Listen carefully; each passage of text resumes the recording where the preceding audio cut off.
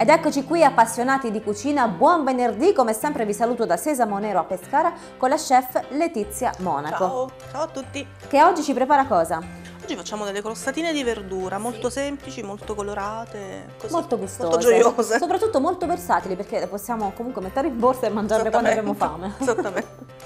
allora, di cosa abbiamo bisogno Letizia? Allora, eh, abbiamo bisogno di una pasta brisée, perlomeno noi utilizziamo una pasta brisée, ehm, che possiamo fare, questa è fatta con eh, farina, eh, olio, acqua e un po' di sale, oppure la possiamo comprare se proprio siamo pigri pigri. Poi utilizzeremo delle verdure, io ho scelto della barbabietola, delle carote e dei pisellini eh, uovo, latte, eh, delle erbette aromatiche, un pochino di senape. Perfetto. Ok. Procediamo. Procediamo. Allora, eh, prendiamo i nostri stampini. Questa mi hai detto cos'è? Scusami. Barbabietola. L'ho tagliata prima perché eh, sennò perde colore e qui facciamo, ci tingiamo di fucsia. Allora, prendiamo la pasta brisée che io avevo già sì. steso e riempiamo semplicemente i nostri stampini. Ovviamente se non abbiamo degli stampini può andare bene anche, possono andare bene anche quelli di... Mm, a parte che può andare bene anche uno stampo unico, che voglio dire, quello magari ce l'abbiamo tutti. Ah ok. Cioè, facciamo un crostatone grande. normale, sì, no, cioè, non, non, è un problema, sì. Quindi foderiamo i nostri stampini. Foderiamo i nostri stampini. Volendo possiamo utilizzare anche altri tipi di impasto, voglio dire, magari pasta della pizza, pasta sfoglia. Sì.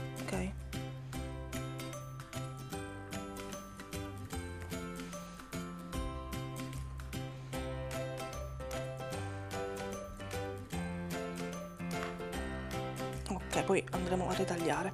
Allora nel frattempo ci prepariamo il nostro ripieno e mescoliamo. Uovo latte nuovo latte un pochino di senape.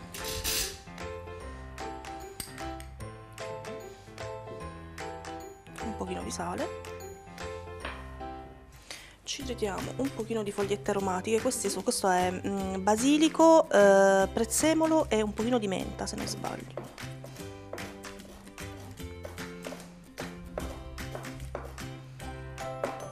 Sottilmente, giusto? Sì, perché poi lo metteremo nell'impasto, quindi insomma non ci ritroviamo la foglia di prezzemolo intera magari.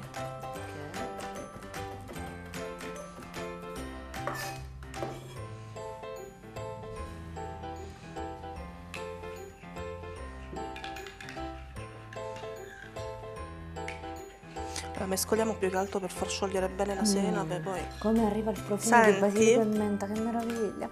Profumo d'estate! Sai che avevo proprio voglia di, di basilico, che adesso sì. si comincia un po' a trovare, è un pochino forzato sì. forse però, ecco, ogni tanto... Sì, il basilico è niente, è l'estate, è il allora. profumo dell'estate in cucina. Nel frattempo eh, sì. ci tagliamo la nostra carota, la tagliamo sottilmente, quindi o con una mandolina o con un pelapatate in verticale, giusto? In verticale.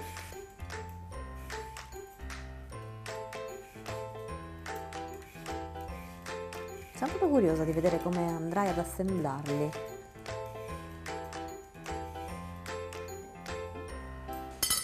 Allora, cominciamo a riempire le crostatine. Allora, innanzitutto tagliamo l'eccesso.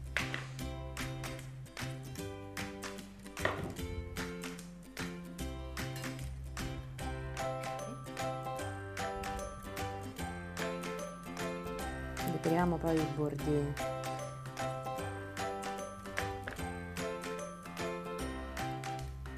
ecco questa è una crostatina perfetta secondo me come aperitivo anche come finger food e anche come snack. Quando abbiamo un attacco di fame poi insomma anche abbastanza light perché comunque è fatta solo con verdure quindi anche molto leggera perfetta secondo me come spuntino di metà mattina. Sì sì sì. Ma sai anche magari per un pranzo accompagnato da un'insalata chiaramente magari una porzione un pochino più grande ecco la nostra pasta si è seccata chiaramente però si taglia facilmente se no.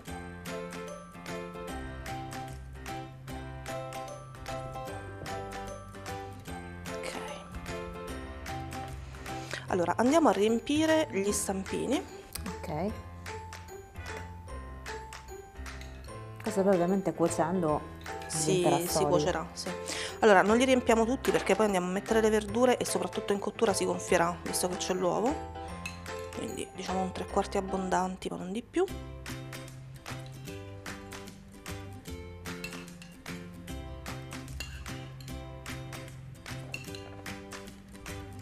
Okay. E adesso ce li assembliamo così. Ah, le mettiamo... Ma che belle!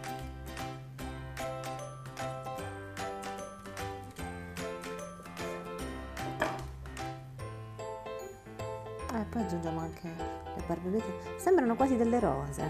Vero? Sì. Bellissime.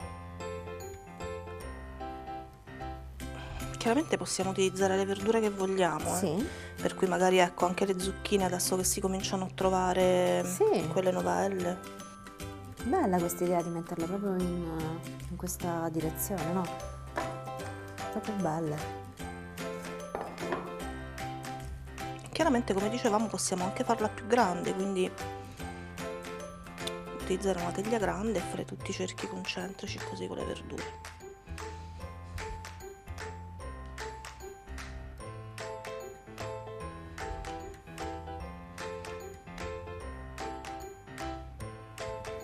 Ecco, magari con uno stampo più grande diventa forse un pochino più complicato. Diventa un sai? pochino più... Allora, a parte il fatto che magari... Sì, sicuramente, però vedi comunque non le stiamo mettendo in maniera regolare, tanto... Quindi possiamo fare anche in maniera Eh, regolare. tenderà chiaramente a rompersi come si va a tagliare poi in uno stampo grande, quindi un pochino po- forse perde, si, si sbriciolano le verdure.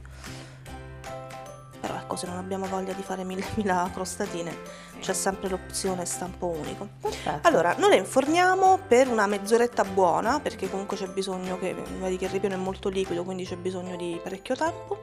E, e niente, poi le cacciamo. Temperatura? Temperatura più o meno sui 180. Ok. 180 gradi per 30 minuti. Andiamo in forno. Ok.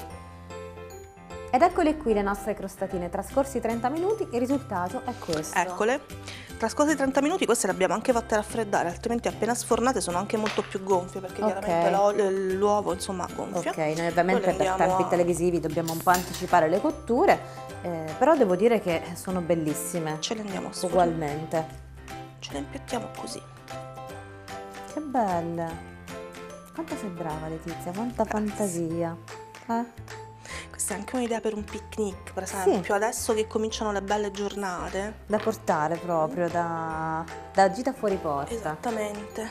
Bellissime. Per chi la domenica non lavora. Per chi la domenica non lavora. Eh, vabbè, guarda, anche io spesso lavoro. Eh, lo so, lo so, lo so. Eh? Però noi amiamo il nostro lavoro, quindi va bene. Certo. Facciamo Grazie, volentieri. Letizia. Grazie, a te, grazie a voi. E grazie a voi. A domani. Ciao. I legumi è un alimento d'eccellenza. Hanno alto contenuto sia delle proteine che di carboidrati. In più contengono la fibra insolubile che regola livelli di glucosio e di colesterolo nel nostro organismo.